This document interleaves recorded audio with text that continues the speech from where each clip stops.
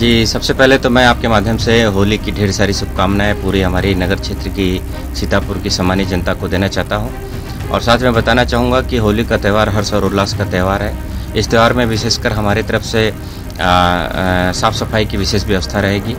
और जो पानी है उस संदर्भ में हमारे जितने भी ओवरहेड टैंक हैं, तेरह ओवरहेड टैंक हैं नगर क्षेत्र में, वो पूर्व से ही भर करके रखे जाएँगे ताकि निर्बाध वाटर की सप्लाई मिलती रहे और साथ में उनमें क्लोरिनेटेड वाटर की व्यवस्था रहेगी और हमारे जितने भी नलकूप ऑपरेटर्स हैं ट्यूबवेल ऑपरेटर्स हैं, उनको डोजर वो डोजर के माध्यम से जो है डोजिंग करते रहेंगे, जिससे जो है आपको क्लोरिनेटेड वाटर की निर्बाध आपूर्ति मिलती रहेगी और जो गंदा पानी है, उसकी शिकायत नहीं रहेगी।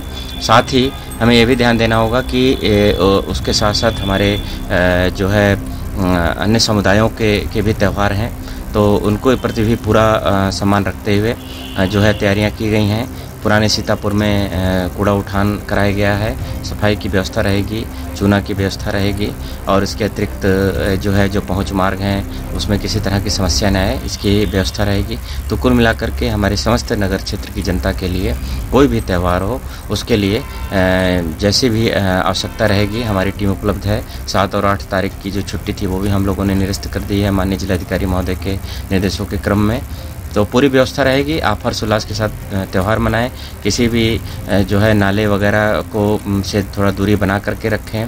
और जो है सिंथेटिक जो केमिकल्स हैं, उनको, उनका, उनके प्रयोग से बचें खान पान की वस्तुओं को बहुत ही सीमित मात्रा में ही इस्तेमाल करें।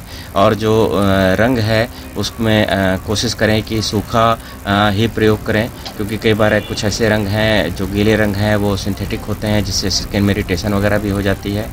तो इन सारी चीज़ों को ध्यान में रखते हुए बच्चों को अपनी सुपरविज़न में ही खेलने दें, अपनी आँखों का विशेष ख्याल रखें।